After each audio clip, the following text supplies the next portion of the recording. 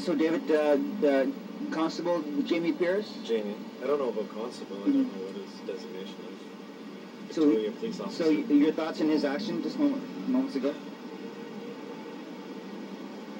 Maybe it was just his individual thing to take care of it himself because he knew how to do it when everyone else wouldn't just do it. Something like that.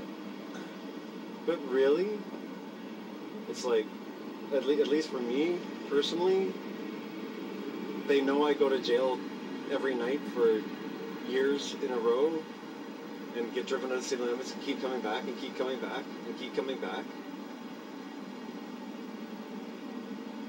You'd think they would know that the same tactics aren't going to work.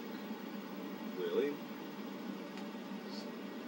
So, different tactics, tactics uh, on, on behalf of the city and police. Which is interesting because Bill Naughton did explicitly say that he's a tactician, not a strategist.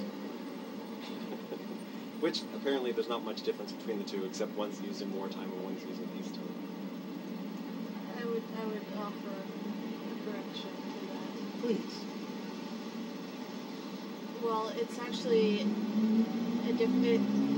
Tactics are the specific way that you go about implementing a strategy, which is um, the strategy is, as it were, the grand tactical plan, and the tactics are the minutia that involve carrying out the strategy. I've never used that word before.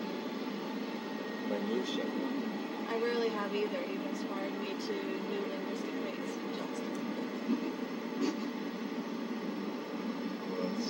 So, may I ask you a question on camera? So, your thoughts so far on the events this morning? Um, I didn't expect it to be so sudden and sneaky.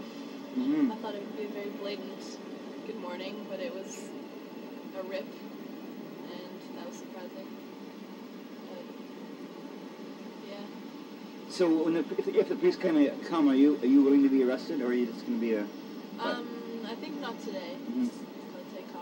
Thank you for uh, joining us underneath the Christmas thank tree. you for being here. Yeah.